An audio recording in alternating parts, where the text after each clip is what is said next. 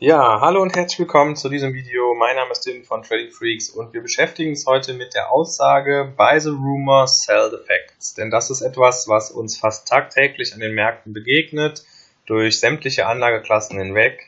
Und ähm, wir werden das Ganze heute mal am Beispiel des Ölpreises skizzieren. Ich werde gleich mit dir in den Chart gehen und auch dann aktuellen Trade zeigen. Und bevor wir uns dann den Chart angucken, müssen wir erst noch ein bisschen Grundlagenarbeit leisten und uns mit diesem Satz nochmal beschäftigen. Für die, die es noch nie gehört haben, buy the rumor, sell the facts ähm, bedeutet auf Deutsch, kaufe die Gerüchte oder die Stimmung und verkaufe die Fakten. Das bedeutet ähm, ins Trading übersetzt, wenn du merkst, dass es auf ein Großereignis äh, zugeht. Das könnte zum Beispiel ein Leitzinsentscheid sein, das könnte eine Wahl sein, wie jetzt in Frankreich oder in Großbritannien.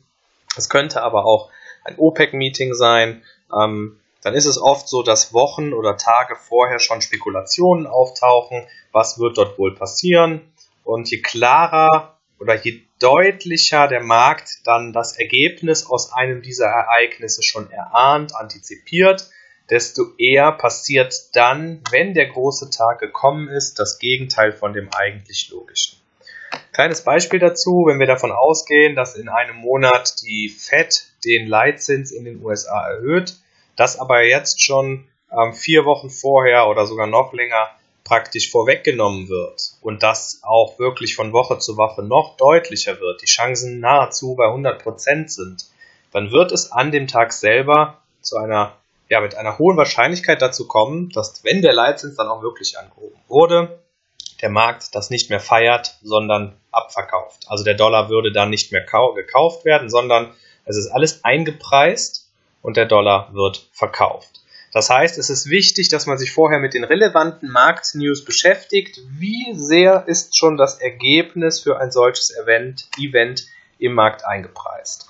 Ähm, und das ist genau das, was wir uns jetzt hier nochmal angucken und wie man das traden kann. Und dafür schauen wir jetzt mal in die Charts.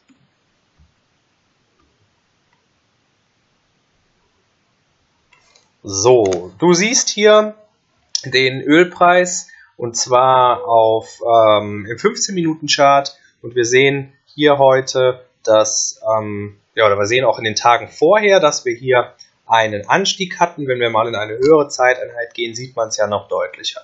Wir hatten hier die ersten Gerüchte, dass bei dem kommenden Treffen jetzt in Wien mit einer hohen Wahrscheinlichkeit der Ölpreis, ähm, dass der Ölpreis, nee, nicht der Ölpreis, sondern dass die Production Cuts, also die, die, ähm, die Begrenzungen der Fördermengen verlängert werden um neun Monate. Und das ist natürlich etwas, wenn das Angebot verknappt wird, was den Preis steigen lässt. Und das ist genau das, was der Markt hier vorweggenommen hat. Und in diesen letzten Tagen hier ist praktisch jeden Tag ein anderes OPEC-Mitglied dazu übergegangen, diese Meldung zu bestätigen, dass sie sagen, ja, wir sind dabei, wir würden auch, würden uns anschließen, die ähm, Produktionszahl äh, zu drosseln. So, und jetzt ist hier heute das große Event.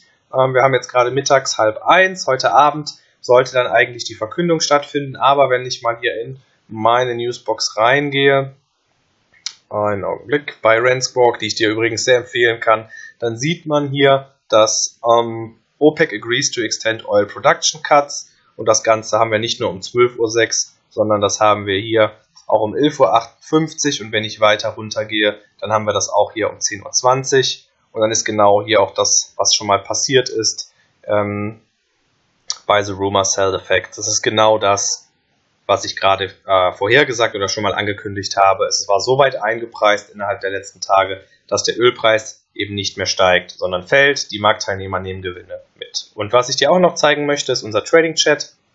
Hier habe ich gestern mit dem Andreas schon mich darüber unterhalten und schon gesagt, morgen bei The Rumor Sell the schon alles eingepreist.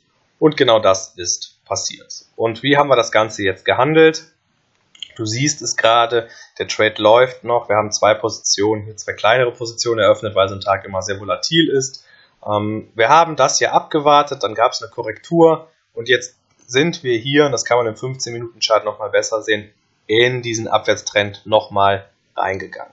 Und man kann das Ganze hier über der 200er Moving Average absichern mit dem ersten Stop-Loss, den zweiten, wenn man genug Platz hat, hier oben ähm, und den Markt jetzt heute einfach mal machen lassen. Ich denke, dass wir hier dieses Tagestief nochmal sehen werden, äh, aber dann auch mit Möglichkeit bis zur 200er ähm, EMA im 4-Stunden-Chart, was dann natürlich nochmal weitere fast 200 Pips wären. Also, das ist bei The Rumor Sell the Facts. Je eher eine Nachricht eingepreist ist, desto ähm, eher macht der Markt dann eben das Gegenteil. Ich möchte dich noch auf zwei Dinge hinweisen. Es ist sehr wichtig, dass du so ein professionelles Newsfeed nutzt. Das ist hier das von Ransquark. Den Link dazu packe ich dir unter das Video und ebenso auch den Trading Chat, den wir hier noch testen. Der wird in Kürze kommen. Da kannst du dich mit uns austauschen, unsere Trades verfolgen. Ähm, und auch da findest du einen Link unter dem Video. Schau es dir mal an und bei Fragen schreib uns einfach an. Bis dann.